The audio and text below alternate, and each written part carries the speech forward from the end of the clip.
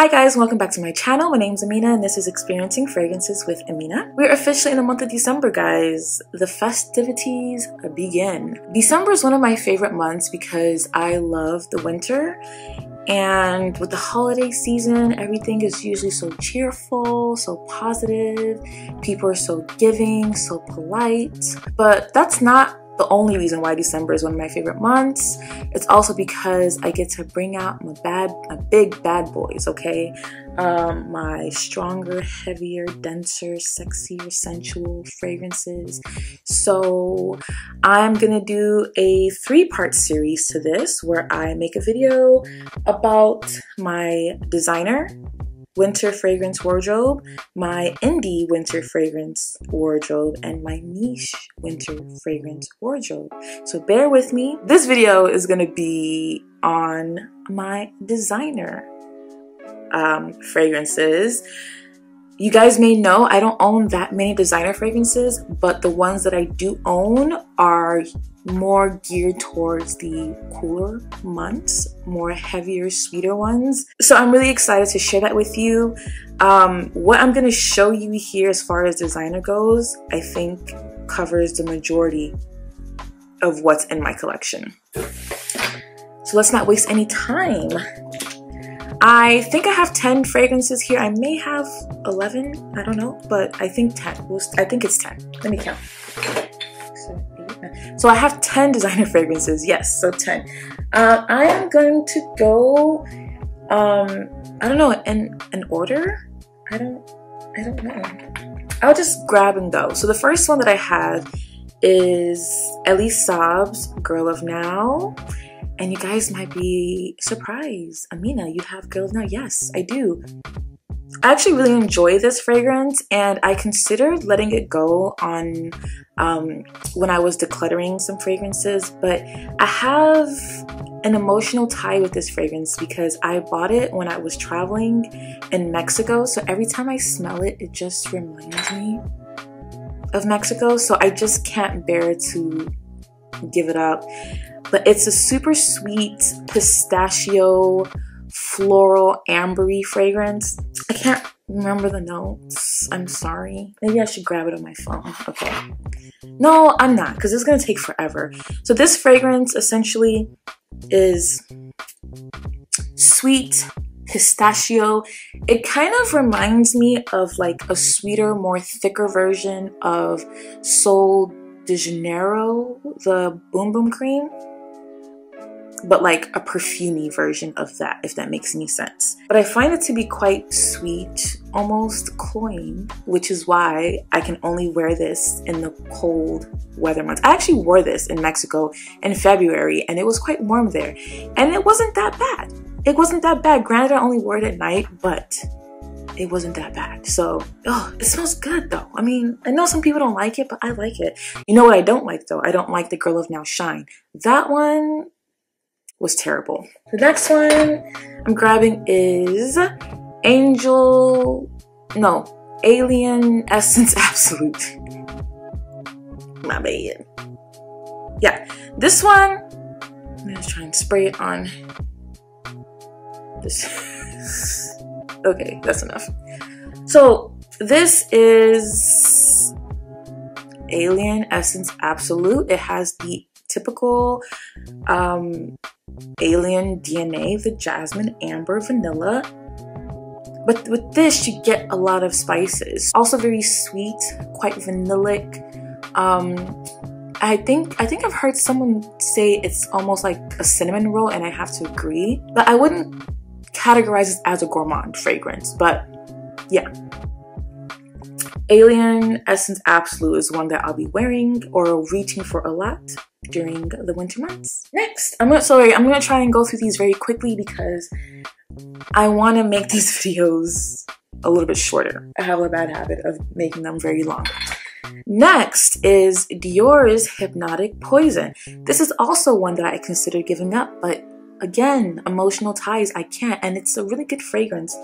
Very strong almond vanilla, slightly powdery, but I used to wear it and it just reminds me this okay i'm gonna be real with you. This was this used to be my date night fragrance okay? So this just reminds me of like fun nights out. Yeah very sweet almost play-doh-y but very strong. I remember when i would spray this it would stay on my sweater on my scarf. It would like attach to other people's if i hug someone they're wearing dior hypnotic poison. That's how strong it is. But yeah. Dior Hypnotic Poison. Next, oh, this one I've had for a while and I've gone through several bottles of, and this one is uh, Yves Saint Laurent Black Opium.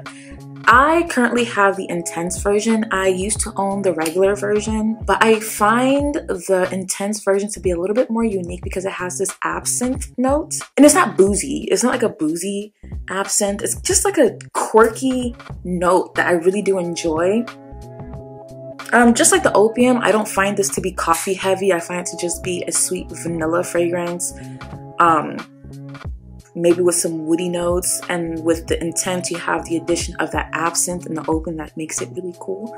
So yeah, um, this one. To be honest, this is a 30 ml bottle, and like I said, I've gone through a couple bottles of the original opium or black opium.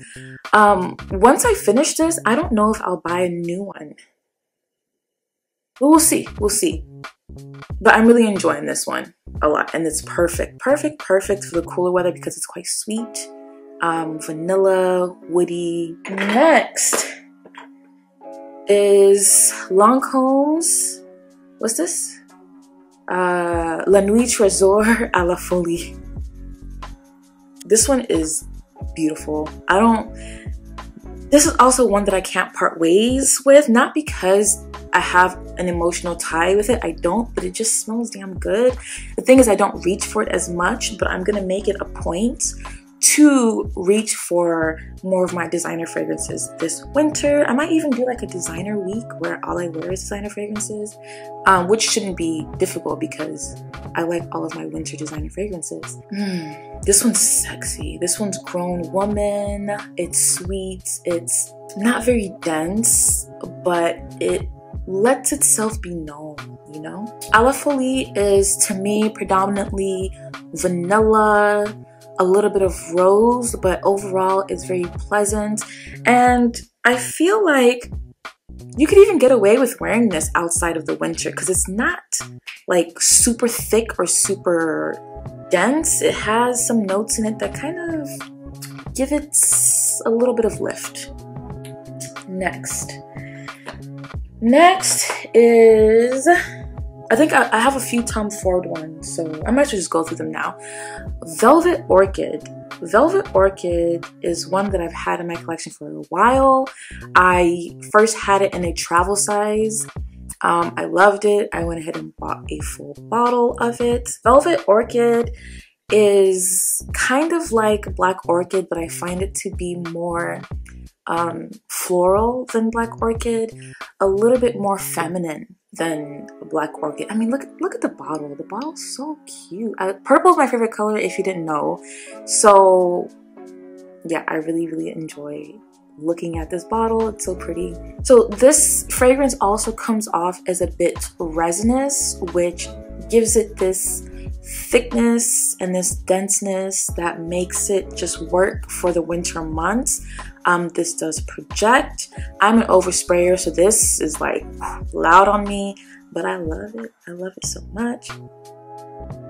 Yeah, this is just like Boss Lady. Boss Lady fragrance, very sexy, very sensual. Love it. The next one, I mentioned it already, Black Orchid. I don't need to go on and on about Black Orchid, but it's another very sexy fragrance. Has a chocolate note, there's truffle in here, a lot of vanilla, some spices. This one is definitely a polarizing scent and it is one that had to grow on me, but I'm so glad that I like it now. Like I get why some people don't like it. I get it. I get it. But to me, I find it very interesting and just like Velvet Orchid, it's very sexy and works very, very well for the colder months because it is quite dense. This is not as sweet, so that is uh, Tom Ford's Black Orchid. And also, look, at the bottle. The bottle's just so cute. Uh, next is Tom Ford's Tobacco Vanille. Um, this is one fragrance that I love. And also I have really positive scent memories attached to this one. But this one's this one's one that I'm gonna keep in my collection forever. This was my first experience with Tom Ford's private blend and it's what it is on the name. It's tobacco vanilla. There's some spices. Oh, it's just so delicious. It's like a spicy honey tobacco with vanilla, very sophisticated, very sexy. I find it very unisex. I don't have any issue with the lasting power on this. Um, this one is a staple in my collection. I can't imagine ever living without this fragrance. That's how much I really love it. I've already worn it in the fall, um, but I look forward to continue wearing it once it starts to get really cold. Oh, I guess I just realized I could have grouped these together by house. Anyways, too late for that. Um, the next ones I'm going to talk about come from the house of Dior, Miss Dior's Le Parfum, which I believe is discontinued and it's sad because to me, Le Parfum is the only Miss Dior you need. All the other ones are just very meh. Yeah, so this is like a resinous, a sweet resinous amber rose fragrance. And this thing is diva mood, okay? This one lasts forever you can only wear a little bit of this at a time because you will choke yourself out. I'm telling you from experience, personal experience. You will choke yourself out if you wear too much of this at once, but it's such a beautiful bottle. It's also one that I enjoy sniffing, but I don't wear as much. So again, I think I'm gonna do a week where I just dedicate all the fragrances I wear to my beloved designers. So I can't wait for that. I might actually start, that was today. Today's Friday. I might start on Sunday or Monday. We'll see.